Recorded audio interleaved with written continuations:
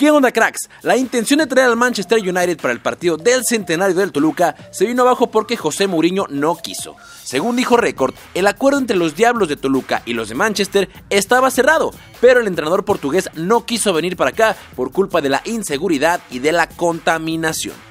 Los Diablos Rojos de la selección de Bélgica también fueron buscados, y como estos no traerían a sus figuras, se decidieron mejor por el Atlético de Madrid, como lo anunciaron hace algunos días, pero el contrato no se ha firmado entre choriceros y colchoneros.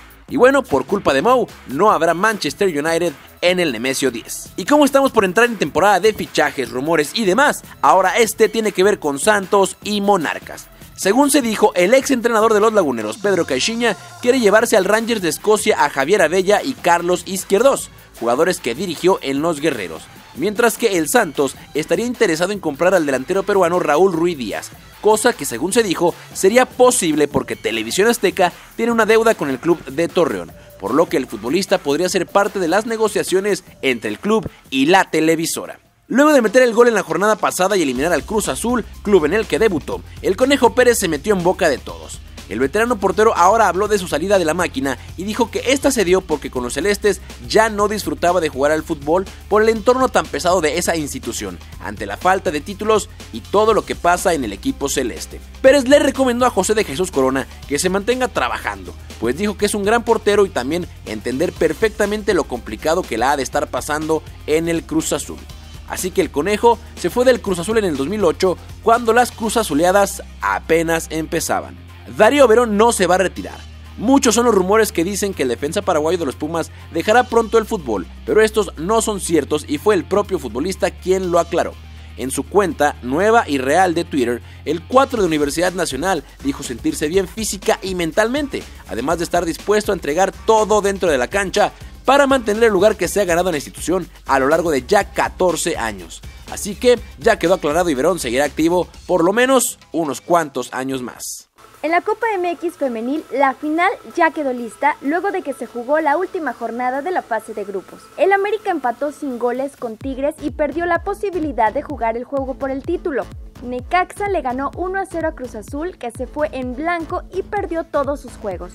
Chivas ganó 2 a 1 a Monarcas y cerró con triunfo, mientras que la Monarquía perdió todos sus partidos. Monterrey le ganó 4 a 2 a Pumas y ganó su primer partido del torneo. Y los equipos que demostraron ser los más fuertes del torneo despidieron la ronda de grupos con triunfo. El Pachuca goleó 6 a 1 al Toluca con 3 goles de Mónica Ocampo, que fue la goleadora del torneo. Tijuana le ganó a Santos por 2 a 0 y también cerró con paso perfecto.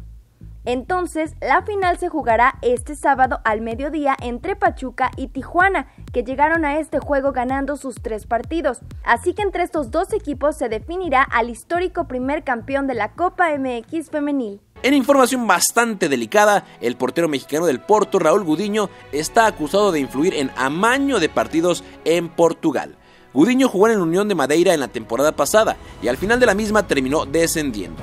El ex entrenador de este equipo dijo que las actuaciones del portero mexicano eran muy sospechosas, por lo que podría haber arreglado algunos partidos. Esto ocasionó que el presidente del club reaccionara a las declaraciones y dijo que van a enviar la entrevista a las autoridades para que investiguen. También dijo no entender por qué el entrenador no dijo esto hasta después de tanto tiempo. Este video que ustedes ven mientras escuchan esta información es parte de una recopilación de un usuario de YouTube sobre errores sospechosos de Raúl Gudiño. ¿Ustedes qué opinan? También en Europa, el mexicano Pedro Arce terminó su contrato con el Beria del fútbol de Grecia y desconoce cuál será su futuro. Y aunque quiere quedarse en el fútbol del viejo continente, no descarta jugar en la Liga MX. Arce jugó 21 partidos esta temporada de los 30 que se juegan en la Superliga de Grecia.